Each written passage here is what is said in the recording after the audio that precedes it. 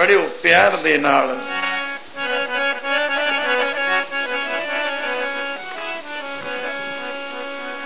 ਪਰਵਤ ਵੀ ਡਿੱਗਦੇ, ਦੇਖੇ ਨੇ ਪਰਵਤ ਵੀ ਡਿੱਗਦੇ, ਦੇਖ ਲੈ ਪਰਵਤ ਮੈਂ ਡਿੱਗਦੇ।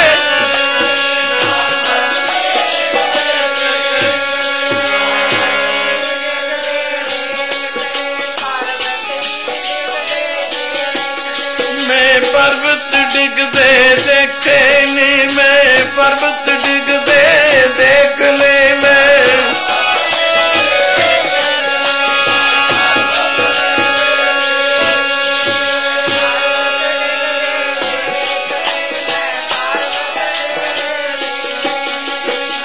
ਗੁਰੂ ਨਾਨਕ ਦੇ ਚਰਨਾਂ ਤੇ, ਗੁਰੂ ਨਾਨਕ ਦੇ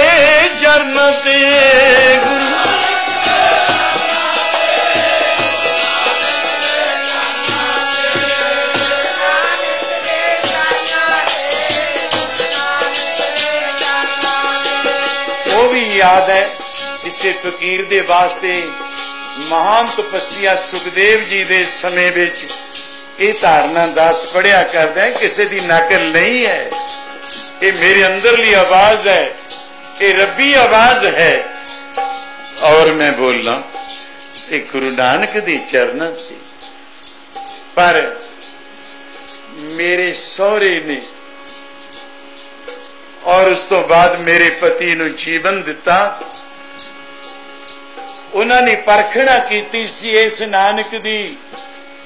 ਮੈਂ ਸੁਖਦੇਵ ਵਾਲੀ ਸਾਖੀ ਦਾ ਕੋਈ ਹੈ, ਰੱਬ ਗੁਰੂ ਨਾਨਕ, ਗੱਜ ਕੇ ਬੋਲੋ।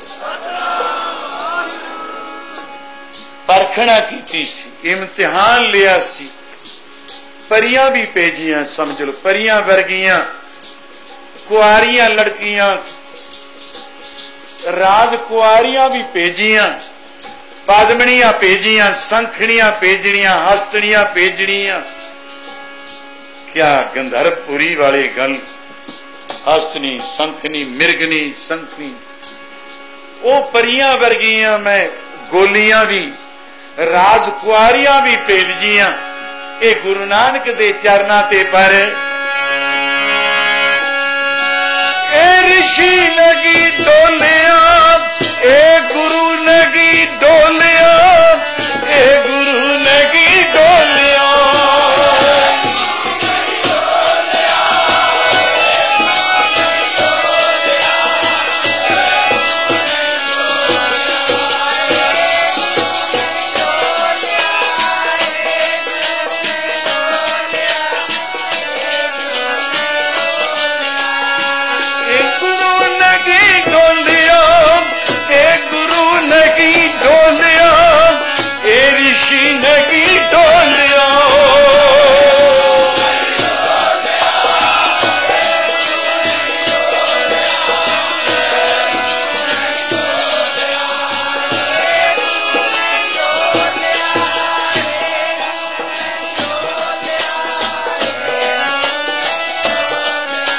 ਮੈਂ ਪਰਵਤ ਡਿੱਗਦੇ ਦੇਖਣੀ ਮੈਂ ਪਰਵਤ ਡਿੱਗਦੇ ਦੇਖ ਲੈ ਮੈਂ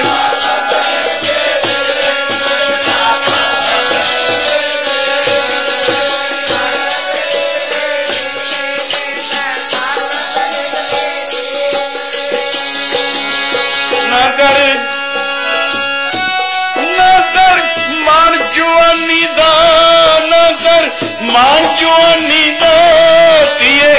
ਮਾਨ ਜਵਾਨੀ ਦਾ ਨਾ ਕਰ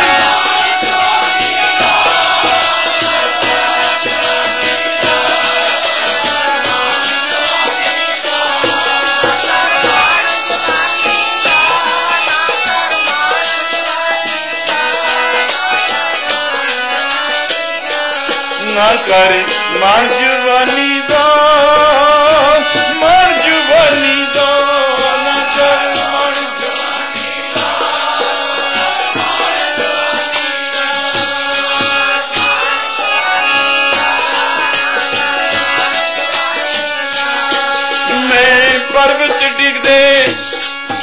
ਤਾਂ ਪਰਵਤ ਡਿੱਗਦੇ ਦੇਖੇ ਨਹੀਂ ਮੈਂ ਪਰਵਤ।